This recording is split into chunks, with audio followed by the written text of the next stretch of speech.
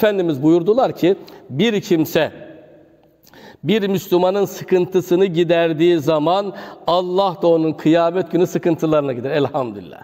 Yani bir bakacak kişi amel defterine Allah Allah ben falanca şöyle günah işlemiştim ama bunu göremiyorum orada. Yani o yok. Sevinecek.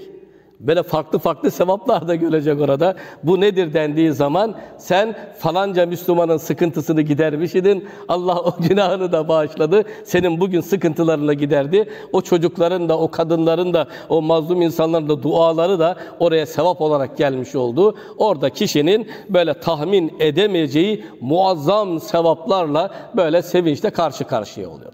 Rabbimiz Celle Celaluhu cümlemizi mümin kardeşlerimizin sevinçlerini paylaşan ve onların sevinçlerine ortak olan kullarından eylesin.